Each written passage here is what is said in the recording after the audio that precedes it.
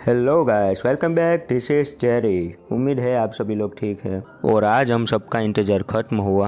क्योंकि आज हम बात करने जा रहे हैं She Hulk Attorney at Law के एपिसोड वन के बारे में, जो अब मार्वल सिनेमैटिक यूनिवर्स का हिस्सा बन गई है। अब वो कौन है, उसकी काबिलियत क्या है, कैसे सी हल्क बनी, यही हम इस पहले एपिसोड में जानेंगे।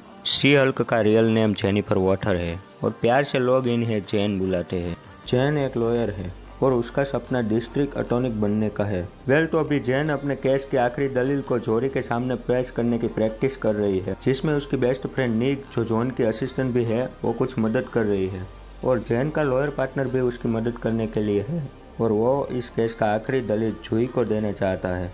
पर निक डेनिस को ऑफ़िस के बाहर कर देती है, और केस के लिए बेस्ट ऑफ़ लक कहती है। अब बात करें इस केस के बारे में तो जी एल के एच नाम की एक कंपनी है, जिसके पास पैसों की कमी नहीं है। अब पैसा है तो पॉलिटिकल सपोर्ट के साथ उसके पास पावर भी है। G L K H company की लापरवाही की वजह से बहुत से लोगों की जान गई है, जिसके बाद ना ही उन्होंने कोई माफ़ी मांगी और ना ही कोई भी रकम पीड़ितों को बयाने की तौर पर दी। तो चैन चोरी मेंबर को यही समझाने की कोशिश कर रहे हैं चैन कि जिनके पास ज़्यादा पावर होती है, उनकी उतनी ज़्यादा ज़िम्मेदारी बनती है। अब जैन निकी के साथ केस पर जाने से पहले वो हम ऑडियंस को फुटबॉल तोड़ने की बात कहती है। अब सीन फास्ट में जाता है, जहाँ हम जैन को ब्रूस्ट पैनर के साथ देखते हैं।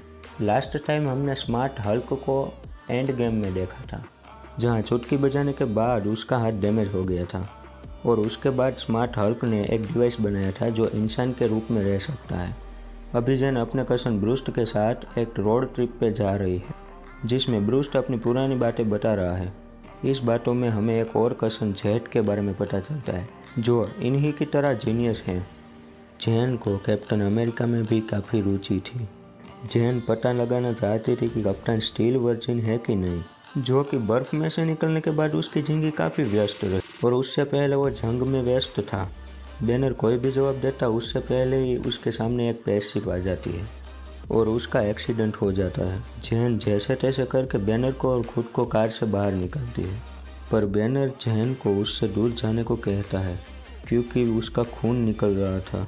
और जैन दूर जाए उससे पहले ही बैनर का खून जैन की लगी हुई चोट के अंदर चला जाता है, जिसे जैन सी हल्क में बदल कर अनकॉन्शियसली होकर जंगल में भाग जाती है और बैनर भी हल्क में बदल जाता है। अब रात होने पर जैन को जंगल में होश आता है। जंगल के बाहर निकलते ही जैन एक क्लब के वॉशरूम में आती है। वहाँ वो सिचुएशन समझ ही रही थी तभी कुछ गर्ल्स वहाँ आ जाती है और समझती है जैन के अपने बॉयफ्रेंड के साथ लड़ाई हो चुकी है। उसके बाद जैन को सभी गर्ल्स तैयार करने लगती है और जैन उनमें से एक का फ़ोन लेकर बाहर आती है। बाहर आके जैन बैनर को कॉल करके बुलाती है। जब जैन क्लब के बाहर बैनर का इंतज़ार कर रही थी, तब कुछ लड़के आके जैन को छेड़ रहे थे। जैन उन्हें इग्नोर करके जा रही थी और वो लड़के सभी बदतमीजी कर उतर गए और जैन गुस्से में आके सी हल्क बन गई। अब जैन उन सबको थोपने वाली थी, तभी स्मार्ट हल्क उधर पे आ जाता है। अगली सुबह एक कमरे में जैन की नींद खुलती है और कमरे में रखे टी शर्ट को पहन कर वो बाहर आती है। और उसे पता चलता है कि वह एक मैक्सिको के आइलैंड पर है। उसके बाद जैन को हॉल में एक टूटा हुआ हेलमेट मिलता है, जो आयरन मैन का होता है। उसके बाद जैन म्यूज़िक सुनते ही उस कमरे की ओर बढ़ने लगती है, जो बेसपेट में एक सिगरेट लैब है, जहाँ उसे स्मार्ट हल्क दिखता है। वैसे प्रॉपर्टी तो सभी टोनी स्टार्क की है। अब दोनों बात पे चर्चा कर रहे हैं कि वो पेसिक हल्क को क्यों ढूंढ रही थी। अब बैनर जैन को बताता है कि अब उसके अंदर भी गामा रेडिएशन घुस चुका है। और ये सुनने के बाद जैन को लगता है कि वो अब मर जाएगी। लेकिन बैनर के अनुसार उन दोनों में गामा रेडिएशन को ऑब्ज़र्व करने की काबिलियत थी।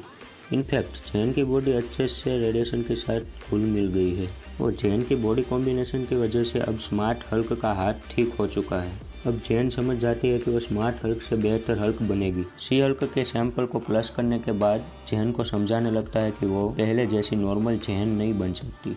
उसने जो मशीन रूस बनाए रखती है, वो लॉन्ग टाइम के लिए नहीं बनी। अब जैन को अपनी नॉर्मल लाइफ में वापस जाना था। पर हल्क समझा रहा था कि उसे खुद को अपनाना होगा।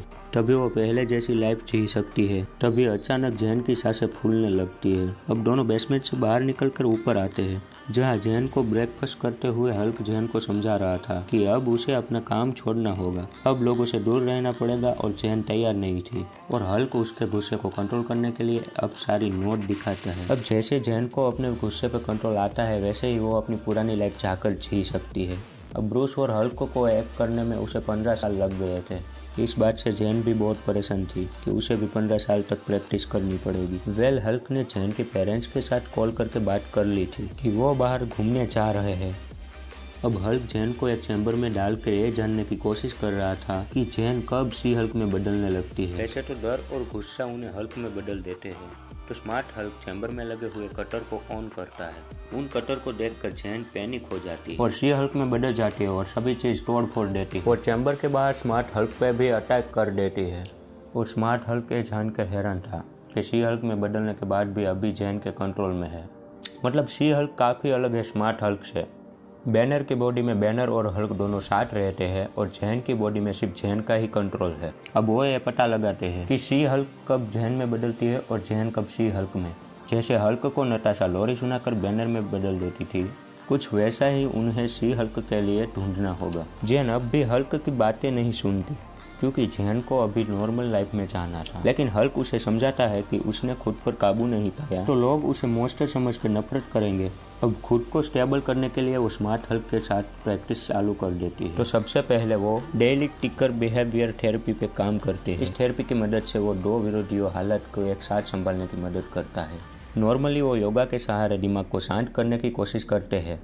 वैसे जैन एक वो बोली लड़की है जिसके पास जोक्स की कमी नहीं है। और उसे सीरियस माहौल को भी फनी बनाने में मज़ा आता है। जैन की बातें सुनकर स्मार्ट हल्क जैन को कल प्रैक्टिस करने की बात बोलता है। अब सुबह में जैन सोई हुई थी, तभी बैनर आकर एक भोंपू लेकर उसके पास बजा देता है। उसकी आवाज़ से अचानक जहन एक सी हल्क में बदल जाती है और अचानक उठ जाती है और बेड टूट जाता है। हल्क नोट बनाता है कि अचानक जहन सी हल्क में कैसे बदलती है और जहन अपने पूरा कंट्रोल में रहती है। जैन को अपने मज़बूत बेड के साथ दस फुट का कमरा भी चाहिए और फिर दोनों साथ में योगा करते हैं।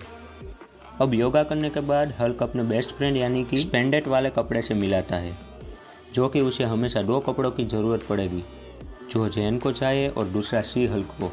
उसके बाद दोनों साथ में फुल मस्ती करते हैं, जिसमें सी हल्क काफ़ी दूर पत्थरों को फेंक देती है। तो हल्क बुरा मान जाता है और एक बड़ा सा पत्थर उठाकर दूर फेंक देता है। स्मार्ट हल्क का दिमाग भले ही बैनर का हो, पर डील अभी भी बच्चों जैसा है। उसके बाद दोनों लंबी छलांगे मारते हैं और सी हल्क काफ़ी मज़े करती है। अब हम देखते हैं कि सी हल्क को खुद पे कंट्रोल आ गया है। पर अभी भी स्मार्ट हल्क सेटिस्फाई नहीं था। क्योंकि जैन अपने नॉर्मल लाइफ में गई तो उससे आम लोगों को भी खतरा हो सकता है। ये सुनकर सी हल्क निराश हो जाती है। तो स्मार्ट हल्क उसे हल्क होने के कुछ फ़ायदे बताता है कि हल्क होने के बाद हमें शराब नहीं चढ़ती, और जितनी चाहे उतनी पी सकते हैं।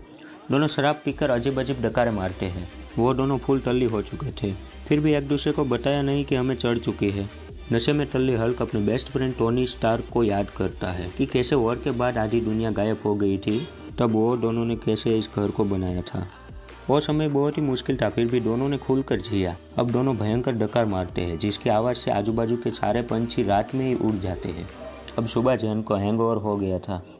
अब जूस पीने के बाद वापस हल्क जैन को योगा करवाने के लिए ले जाता है। पर जैन को जितनी हो सके उतनी जल्दी अपनी लाइफ में वापस जाना है, क्योंकि अटोनिक बनने में उसने बहुत ही मेहनत की थी। फिर हल्क उसे फिर से समझाने लगता है कि उससे अपने गुस्से को कंट्रोल करना होगा, जिससे कि वो फिर से सी हल्क ना बने। पर जैन को कोई सुपर हीरो बनने में इंटरेस्ट है ही नहीं। और फिर जैन अपनी बात कहती है कि वो एक औरत है और उसे अपने गुस्से पर पूरा कंट्रोल है। और यह सब बोलते बोलते जैन फिर से सी हल्क में बदल जाती है। और हल्क को यह लगता है कि जैन गुस्से से वजह से सी हल्क बनी है। तो जैन सी हल्क में बदल कर उसे दिखा रही थी कि उसे अपने गुस्से पर पूरा कंट्रोल है। अभी जैन अपना सामान लेकर जीप में रख कर निकल रही थी और हल्क उसे जाने से रोकता है। उस पर भी जिम्मेदारियाँ है कि वो अपनी पावर से लोगों को बचाए, लोगों की मदद करे। पर जैन को इसकी परवाह नहीं है। अपनी वकालत से वो लोगों का भला करना चाहती है। ना कि सी हल्क बन के। बल्कि जैन तो किसी गवर्नमेंट की सिगरेट एजेंसी के साथ काम करना चाहती है। जाने से पहले जैन हल्क को बहुत ही बुरा भला बोल देती है। और हल्क आ जाता है जिप के सामने, उसे रोकने। और जैन जीप को स्टार्ट करके हल्क को टक्कर मार देती है और हल्क दूर जाकर पत्थरों के बीच में टकरा जाता है और अब हल्क खड़ा हो जाता है और जैन को फिर से समझाने लगता है। तो जैन सी हल्क में बदलकर हल्क को एक जोरदार पंच मार देती है और अपना हल्क उसे बच्ची की तरह ट्रीट कर रहा था। सी हल्क उसे काफ़ी दूर फेंक देती है और हल्क अपने थंडर क्लेबर का यूज़ करके उसे काफ़ी दूर जगह पे फेंक देता है। अब सी हल्क भी क्लेब बजाकर साउंड वेब्स निकालती है और हल्क का बुरा हल कर देती है और अब शुरू होती है दोनों में एक फाइट। अभी तो असली मज़ा शुरू ही हुआ था कि दोनों लड़ते लड़ते बार के ऊपर गिर जाते हैं और पूरा बार टूट जाता है। तो अब दोनों फाइट को एंड करके बार को रिपेयर करने लगते हैं। तो इसके बाद अब हल्क जैन को उसके नॉर्मल वाली लाइफ में जाने की परमिशन दे देता है। बार के रिपेयर होने के बाद जैन भी अपनी इनिशियल साइन बार के काउंट के ऊपर कर देती है, जो कि ब्रूस और टोनी ने अपनी इनिशियल साइन वहाँ पर कर रखे हैं। जैन को भेजने से पहले हल्क जैन को बताता है कि उसे कोई भी मुसीबत हो तो हल्क को याद करे। अब जैन भी हल्क से माफ़ी मांगती है, क्योंकि जैन ने भी हल्क को बहुत ही बुरा बुला कहा। था और वो दोनों अगली फैमिली डिनर पे मिलने का वादा करते हैं और जैन चली जाती है। ये थी जेनिफर वाटर की सी हल्क बनने की कहानी। ये सारी स्टोरी प्रेजेंट में हमें जैन बता रही थी। और वहाँ से आने के बाद जैन एक बार भी सी हल्क में नहीं बदली उसकी खास दोस्त बनी और उसके परिवार वालों को भी ये मालूम था कि वो सी हल्क अभी भी बन सकती है। जैन कोर्ट में अपना केस लड़ने के लिए जाती है। कोर्ट में जैन के एजेंट क्विटी जोहरी को यह समझाने लगा था कि उसके क्लाइंट ने यह सब जानबूझकर नहीं किया। तरक्की में कुछ हादसे हो जाते हैं, पर इसमें उसके क्लाइंट का क्या कसूर? अब जैन को जोहरी के सामने अपनी आखिरी दलील को पेश करने के लिए कहते हैं। तब जैन खुद को तैयार कर जोहरी के सामने बात करने ही वाली थी। तब एक म्यूटेंट कोर्ट रूम में हमला कर देती है। तो निकी जैन को सी हल्क में बदल कर लोगों की मदद करने को कहती है। अब जैन अपने सैंडल निकालकर सी हल्क में बदल जाती है और जोई की जान बचाने के बाद म्यूटन को एक ही पंच में नॉकआउट कर देती है। सी हल्क के लिए कोर्ट में बैठे सभी लोगों ने तालियाँ बजाई थी। और कुछ ही सेकंड में शी हल्क जेम में बदल जाती है और अपने सैंडल को फिर से पहन लेती है और जोहरी को आखिरी दल देने के लिए कोर्ट में तैयार होती है। यहाँ पर सी हल्क का फ़र्स्ट एपिसोड पूरा होता है। तो उम्मीद है आप सभी को यह वीडियो पसंद आई हो। तो अब जल्द मिलेंगे अपने नए वीडियो में।